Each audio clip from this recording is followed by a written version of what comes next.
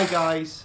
Right, uh, so done all my fatherly chores for the day, taken the wife and the boy out for a little bit of shopping and uh, a nice walk around my local country park. And now it's time for dad time and koi time. So um, I've got my waders on. And um, what I'm going to do, I'm going to attempt to clean up these bakki showers. Now, um, I did go down to Screwfix this morning. I picked up a load of uh, stainless steel uh, M8 bolts um, to basically replace all the bolts on this unit and make it all nice and all tidy.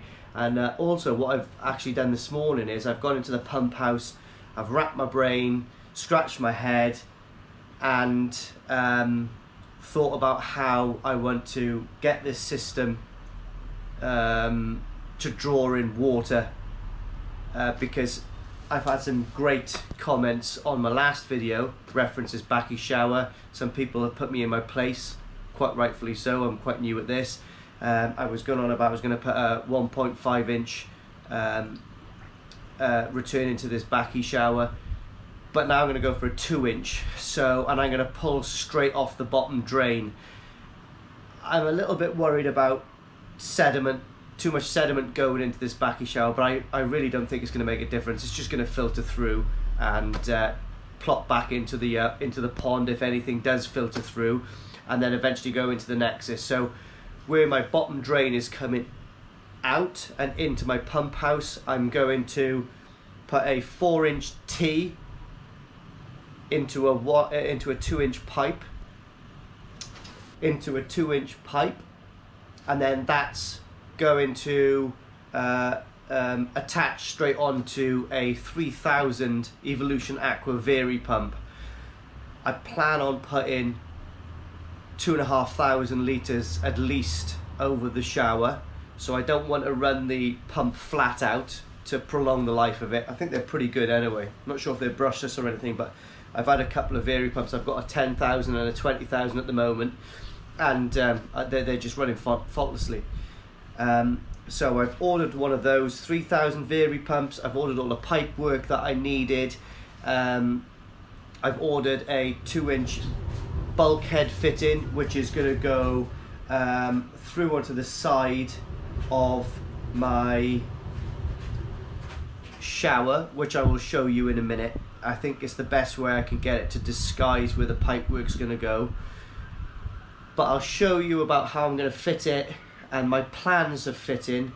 Hopefully I can execute what I've got in my grey matter. But as all soldiers know,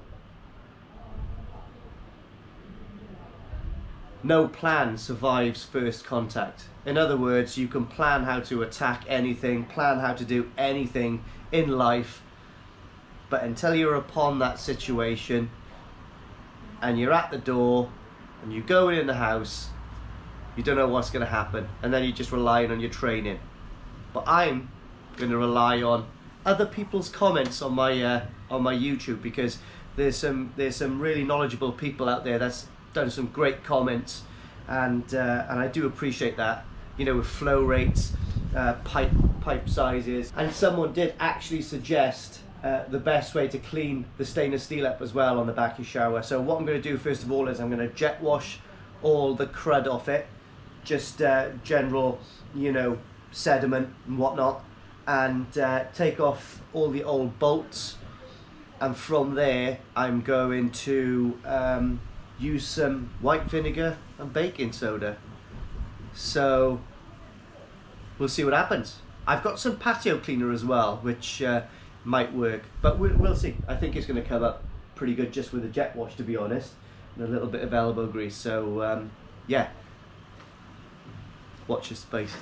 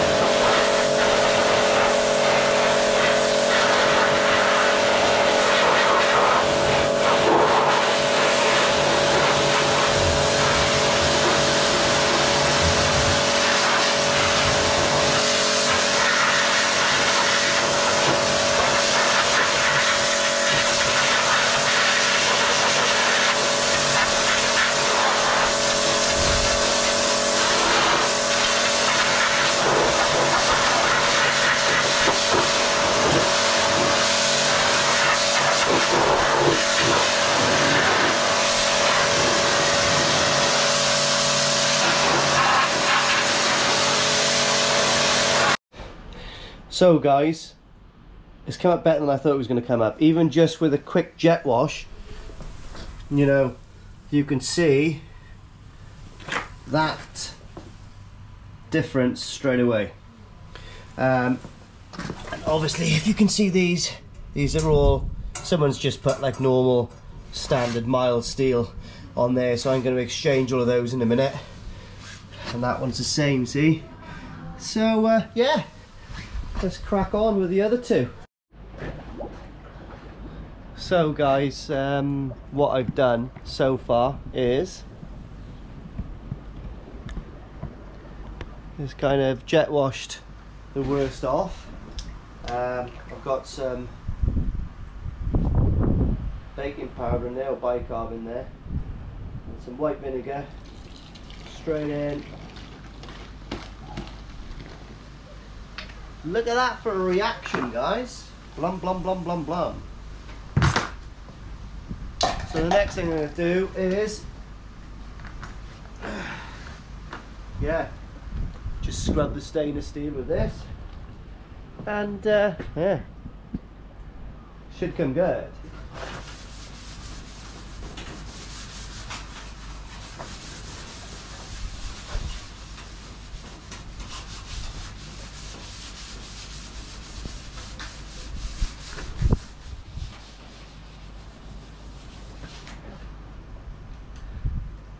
I can't remember who the YouTuber was to, uh, that told me to use this, but thank you very much. This actually works fantastic. I'll show you the results later. Job's a good. So um, I've cleaned up all the stainless steel surfaces now. Wasn't easy. Um, I give it a jet wash um, and then uh, went over the whole lot with um, some uh, bicarb and some white vinegar, which worked pretty well. But it seemed to have quite a lot of um, uh, lime scale on it, and the only way I could get the lime scale off, well, the best way I found, was with the old uh, trusty Makita orbital sander with a, an 80 grit. Um, yeah, and uh, that is the result, guys. Um, I've cleaned all the little brackets as well. Um, I've got the new nuts and bolts now to go onto this, so uh, I'll be back shortly with the finished product. Okay guys, so uh, it's taken me the best part of possibly uh, three, four hours, but um, I finally finished cleaning up the bakki shower.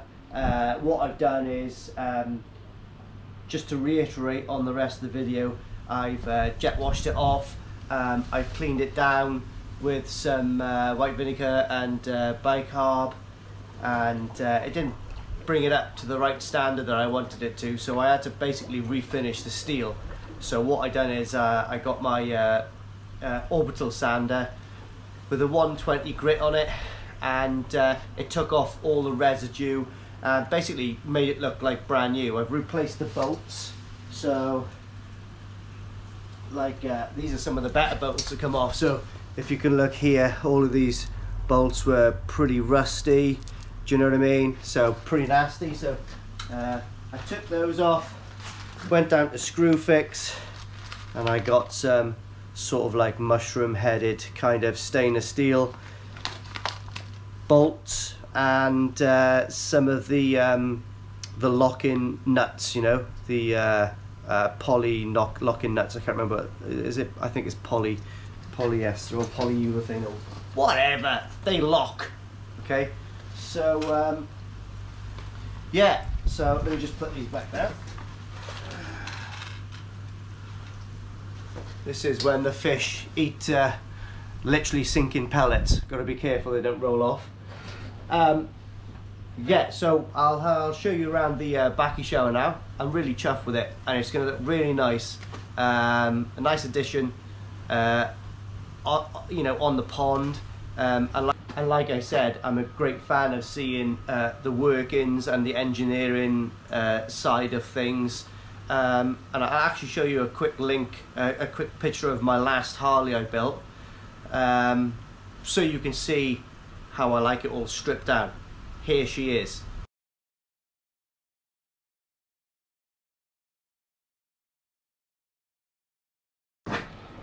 believe it or not, I made that. So I got an old uh, donor Harley Davidson.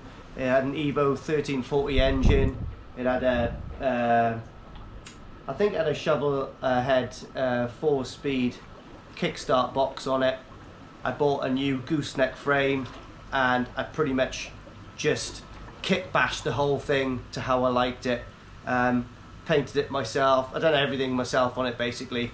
Um, if you, if anyone's interested in the Harley, I'll show you some more details on it. But I actually airbrushed a Samurai down the tank because I'm a great fan of um, Zero Engineering bikes. I don't know if you've ever seen those, but they're absolutely fantastic. It's a Japanese uh, builder, and again, he loves the engineering of things. So let me show you the bakki shower.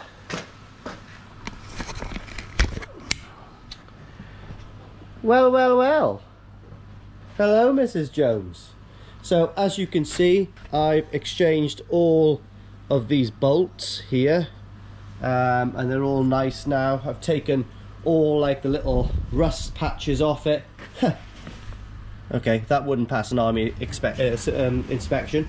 But anyway, um, yeah, I've taken 99.9% of all the stains off that. And if you can see, you can just see where it's been refaced with the uh, with the 120 grit. But you know I don't mind that. It's uh, it's a lot nicer than it was. And uh, what a steal.